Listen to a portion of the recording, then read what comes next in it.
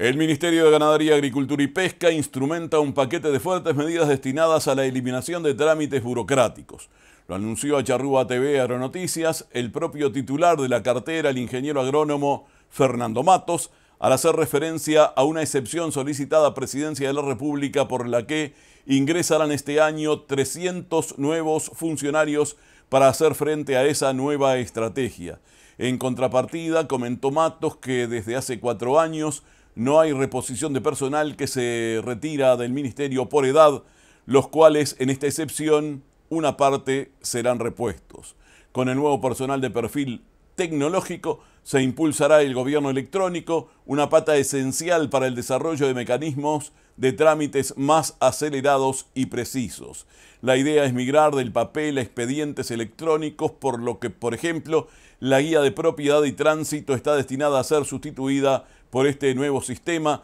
sin perder los elementos legales de la propiedad, garantizando el evitar los desvíos y los abigeatos, así asegurando también los controles sanitarios que deben primar. Al comienzo, el ingeniero Fernando Matos da cuenta de la finalización en estos días de la puesta en funciones de los directores departamentales del Ministerio en los 19 departamentos. Eh, este articulador es una persona clave. Cuando esta administración se inició eran, eran 11 los directores departamentales que estaban en funciones. Hoy tenemos los 19. Eh, de estos 11, apenas 7 se mantuvieron en el cargo, luego de un proceso eh, de, selectivo, de oposición y méritos muy exigente, que llevó bastante tiempo, pero que fue muy riguroso y que estamos bastante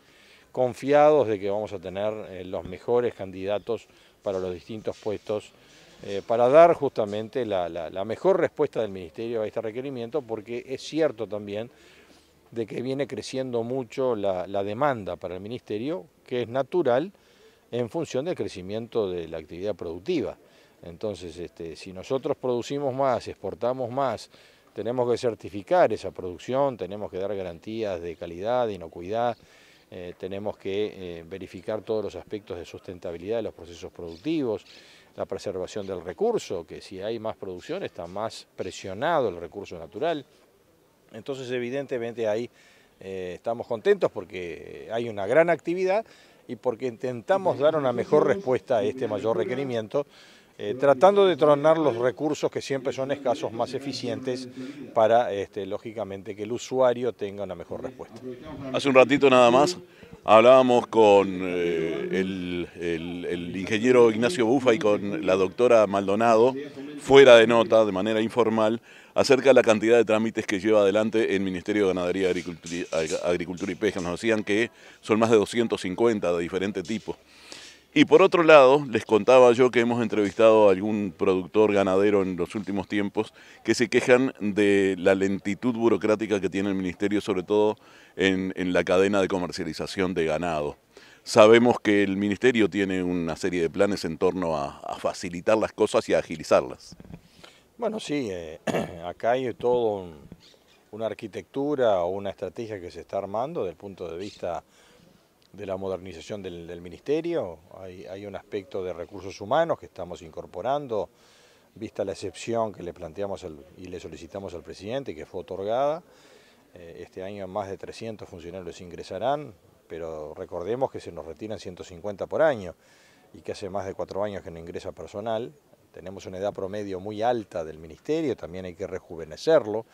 y tratar de seleccionar personal con un perfil distinto, adaptado a las nuevas tecnologías y al gobierno electrónico, que es la otra pata que queremos impulsar y que el propio gobierno a través de lo que es la estrategia de digitalización de los trámites quiere tratar de impulsar. Hoy la idea es migrar del papel a los expedientes electrónicos,